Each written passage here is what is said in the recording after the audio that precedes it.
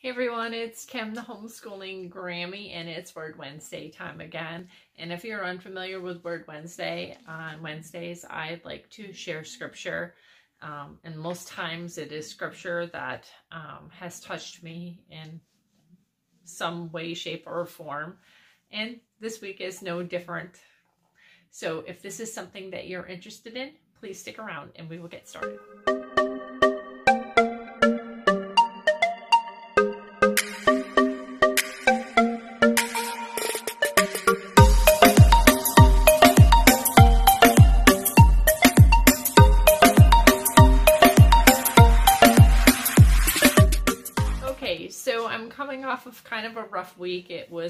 Rough week for me physically um, with my chronic illness. Um, so the scripture that I am sharing is scripture that really spoke to my heart during this last week. Um, and just reminded me that although things can be very difficult for me physically, um, that it, it's okay and it will be okay, and that this too shall pass. Um, so I'm going to go ahead and share several scripture with you, and we'll get started.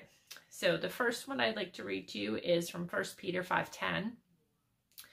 And the God of all grace, who called you to his eternal glory in Christ, after you have suffered a little while, will himself restore you and make you strong, firm, and steadfast. And, you know, Jesus Christ himself was not exempt from suffering. Like, he suffered ultimately for us, and he did it willingly, and he did it not having to, but he did it because he loved us.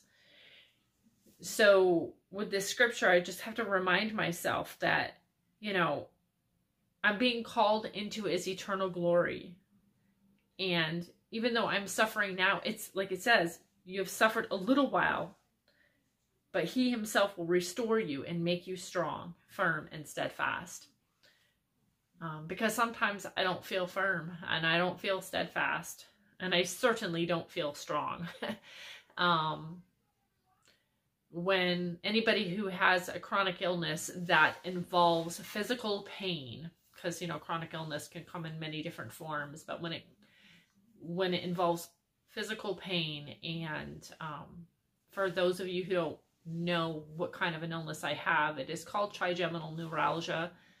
Um, I was diagnosed with it two years ago. I had been having symptoms before that. I was completely incapacitated. I could not function. I could not even barely get off of the couch. I am a miracle.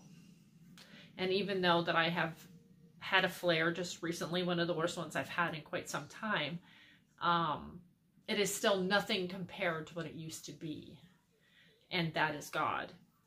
Um, so I just, you know, I just have to remind myself during those times when you have that kind of physical pain, and I think I got off track, but trigeminal neuralgia is an illness that affects the trigeminal, I'm all over myself today, trigeminal nerve that is in here.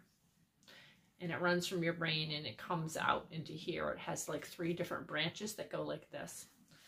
And so when I'm having a flare, that nerve is misfiring. And in its misfiring, it is causing pain in my face. And the pain in my face can come in all different ways. It can become burning, it can be searing, it can be um, like shocks of lightning. It can feel like stabbing of a knife. It can feel like um, like a burning sensation, a tingling, um, weird sensation. Um, it can cause like twitching. It can cause all kinds of weird and strange things. And so when I'm in one of those, this verse I have to remember is that he's going to make me strong. He's going, you know, he's going to make me firm and he's going to make me steadfast because I am not able to do any of those things. And you know, you get into yourself and you feel like, um, gosh, I don't know, like this is really hard. And because I hadn't had that bad of a flare in a long time, it really, you know, it knocked me off my feet, quite literally.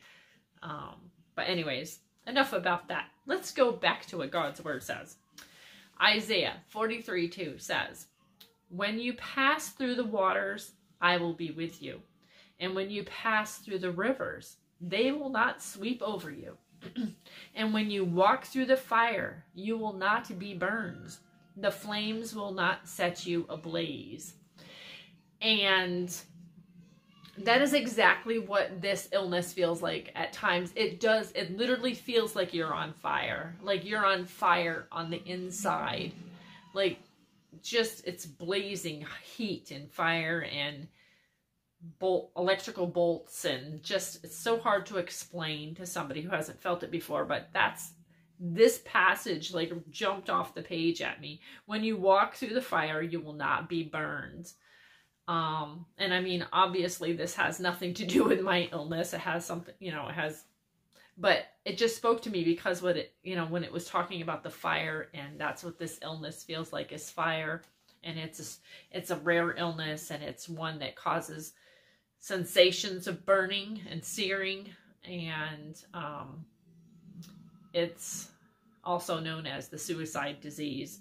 And so I'm so grateful because I I'm so fortunate and I'm so grateful to God because you know so many people who have this illness um, haven't been able to get it under control. Um, my my prayers were answered two years ago, like literally within minutes, I had answered prayer.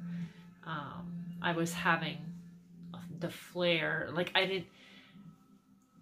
I had just found out what it was.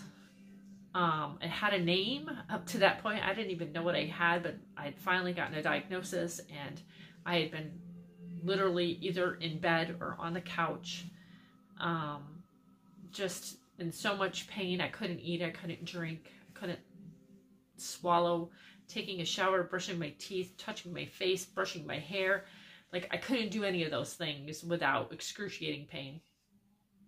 And so I had become a member of this trigeminal group. And I've since started my own. If you're interested, I can leave a link to my Facebook group. But I had been a part of this group and it was kind of dark. Not kind of dark, it was dark. Um, everybody was talking about um, like their whole identity was this illness and it was no there was no hope in this group and it was sad and um you know people just wondering like why they have to live with this horrendous illness and i didn't see any like light in this group and somebody finally said something about a natural approach to um to dealing with this illness and I was like, "Oh my goodness." So I was like, "I agree with you. I agree with you." And I believe that God can can show me something different, some something. And um because of me responding to this person, all these other people like jumped on me like immediately um, you must not really have this illness because if you did, you would be taking A, B, C, and D drugs, and you would be looking into brain surgery, and you would be doing all of these things that you should be doing because if you really have TN, then, you know, um, why would you not?